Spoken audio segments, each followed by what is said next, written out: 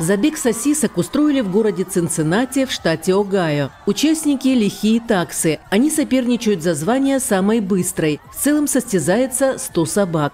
По-английски такс иногда шутливо называют «вайнердог», что переводится как «собака-сосиска». Отсюда и забавные наряды. Таксы в костюмах булочек для хот-догов проносятся по гоночной трассе. В каждом забеге участвуют по 10 четвероногих спортсменов. Им нужно преодолеть примерно 22 метра до своих хозяев. Затем соревнуются победители каждого из 10 забегов. Всех питомцев подбадривают зрители.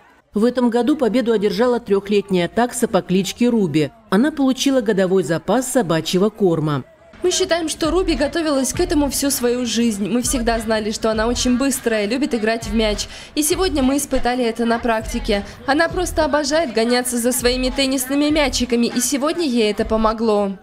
Соревнования прошли в рамках ежегодного фестиваля «Октоберфест». Он посвящен немецкой культуре. Таксы начали участвовать в гонках в Австралии в 70-х годах прошлого века. Это дружелюбные, смелые и преданные собаки с сильным характером.